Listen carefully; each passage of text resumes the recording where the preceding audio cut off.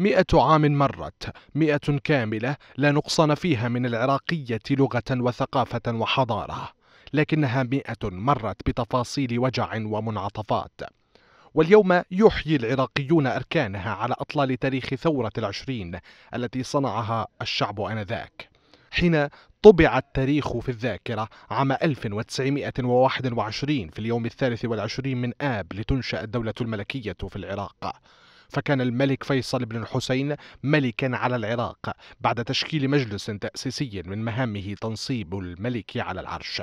مئة إذا على صناعة العراق الملكي في الزمن الحديث الذي جسد فيه الباحثون دور الملك الكبير في صناعة أسس الدولة صناعة عسكريتها وماليتها وإداريتها وثقافتها.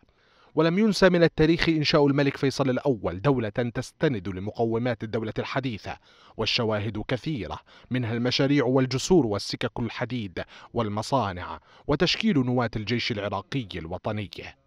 ثم توالت المراحل بعد الملك فيصل الأول بتولي ولده الملك غازي ومن بعده الملك فيصل الثاني لصناعة المراحل الأبرز في تاريخ العراق. ما شكل وعيا سياسيا واجتماعيا ظل حاضرا في نسيج المكون السياسي حتى اليوم بعقول جيل عراقي متوارث للأصول والفكر والخبرة السياسية الضاربة في التاريخ.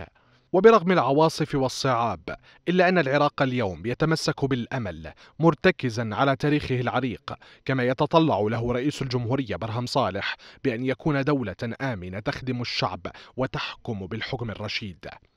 ولم يتوقف العراقيون حتى اليوم. رغم المآسي والحروب والاستبداد فهو البلد الذي تفوق على دول العالم في تحمل المصائب والصراعات. لتكون أول مئة عام كإرشيف لن يموت من التمهيد لمستقبل ينظر إليه العراقيون على أنه مشع بالحضارة وإعادة العراق إلى عهده كما كان صانعا للإنجاز وصانعا للتاريخ.